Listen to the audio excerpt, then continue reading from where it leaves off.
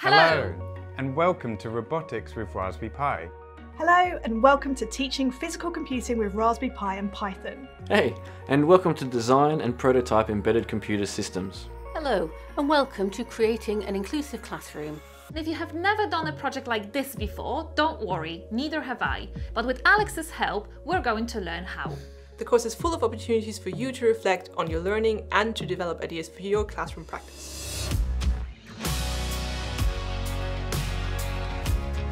So where you have one child who's focusing on the task of typing it up and the other child is looking out for the errors or trying to spot what they should be doing next. So they're not having to think about everything all at the same time, especially if it's a new concept that's being introduced.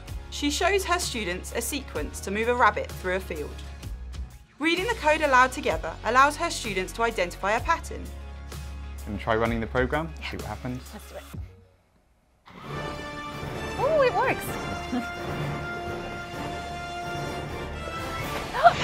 Oops. Oh. we should probably get the buggy to stop.